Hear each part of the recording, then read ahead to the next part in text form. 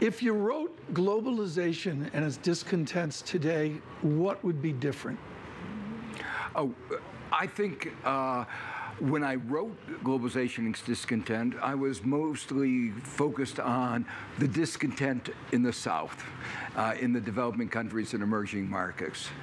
Since then, that discontent has become global. We've had globalization of global discontent. And I think part of the reason is that we've seen that globalization has left us in the United States unprepared for the COVID-19. We weren't able to uh, produce even simple things like face masks, protective gear, complicated things. And uh, now uh, this broader discontent of globalization that I talked about uh, uh, with emerging markets and developing countries is showing up in a peculiar way in the lack of support for the West, for United States and Europe and other democracies in the, uh, our position against Russia's invasion of Ukraine. Well, before we get to that, though, is the inflation that we're seeing right now a symptom of these fissures, of these crises, whether it's Russia and the war in Ukraine or the lockdowns in China? Or is it just an exasperation of a deglobalization or reglobalization in a new form uh, that people haven't fully understood yet? Well, the disturbances are to a large extent a reflection of the same kind of short-sightedness uh, failure of markets to attend to risk adequately that we saw in the 2008 crisis. I wrote in my book, uh, Making Globalization Work, the sequel to Globalization and Discontent, that it was extraordinarily risky for Germany to become so dependent on Russian gas. It was so clear uh, back then that Russia was not a reliable trade partner. Why would you put all your money in the, all your eggs in that basket? And yet, Germany did, Europe did, and part of what we're seeing now, because we didn't respond to climate change. You had Senator Kerry here a few minutes ago talking about this. We should have, we should have moved to uh, renewable energy, right. real, realizing that it was more reliable than political dictators. So fast forward to today and the policies that we're implementing, whether it's to try to curb Russia and, and, and to, to hamper them in their advance in Ukraine, or whether it comes to tariffs in China, what are we getting wrong? Oh, I, I think uh, we're not getting enough solidarity.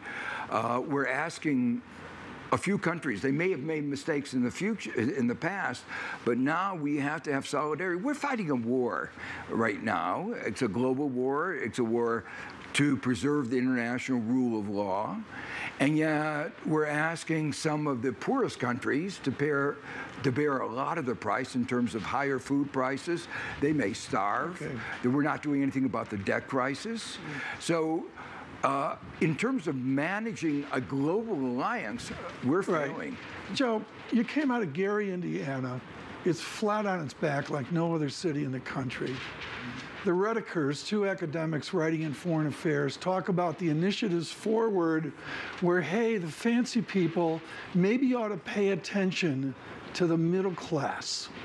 How in this new America do we get the elites to join with the middle class like they did when you and I grew up? Well, I, I think that uh, we all need to be aware our democracy is at risk and our system, economic system, is at risk. So if we don't get that kind of solidarity, who knows where things will go? So you talked a little bit uh, before about inflation. It's really hurting uh, the people at the bottom and the middle uh, enormously.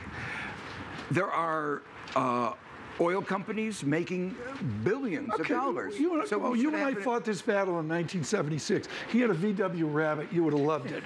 Joe, the bottom line is the elites have forgotten the middle class across the entire political persuasion.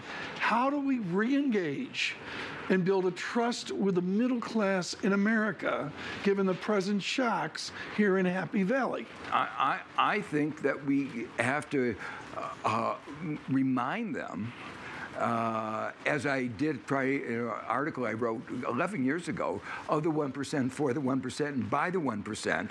Part of the message of that article in the Vanity Fair was to say that it is in your own self interest to show more solidarity because if you don't, this whole system is going to fray apart. And I'll this, Lisa, this is important, really important, given the years. And when you and Rogoff were on stage here, that honor, when the two, they, they haven't gotten along for years. it's like the Kardashians, it's worse than that. Here's the heart of the matter we had compensation structures in America where the middle class was attached to the elites. And then we changed it to where the elites are making more money than God and the middle class is left behind. And to me, that was a tipping point. This has been a tipping point, and here we are with a new tipping point with inflation. And just want to end here. Do you think that it's more important to get inflation under control at this moment than to uh, worry about or avoid some sort of downturn, which seems to be the Fed's conundrum? Uh, raising interest rates is not going to solve the problem of inflation. It's not going to create more food. Uh, it's going to make it more difficult because you aren't going to be able to make the investment. Then how do you clear Raising- the market if you don't raise interest rates? What you do is you have supply side interventions. Uh, one of the things that President Biden tried to do is to have more uh, care for children, and that would mean more women into the labor force. That releases one of the uh, uh, constraints, labor supply. Uh, you look at we used to have surpluses in food in the United States. But all this takes time. We can time. get those back. How do we do this in a time-sensitive way? I, th- I think we can do a lot more than we're doing. Uh, Can you go? Killing the economy through raising interest rates is not going to be Okay. a solution in any time frame. So at least trying to do everything we can Right. globally to increase the supply is going to do more on dealing with the Okay, problem one- than causing a depression. One last question. Your heated rhetoric melted all the snow in the valley. Let's go all Scoop Jackson on you right now, the giant from Washington State. Can you, as a raging Democrat, support a fiscal rebuilding of our defense and of our Navy to push against China and the shock of Putin and Russia? Uh, I think we can uh, have uh, uh, support defense. We clearly, Putin has shown we need defense. Much of what we spend is weapons that don't work against enemies that don't exist. So if we take our current spending on defense and re-examine it, I mean, we're pay, uh, we're so much back in the 20th century, the latter half of the 20th century. We're in a, uh, we're a world of cyber warfare, of all kinds of new forms of warfare. We need to adapt uh, our our military expenditure. I think if we did that, we don't have to spend more and more and more. We have to spend smarter and smarter Okay. and smarter.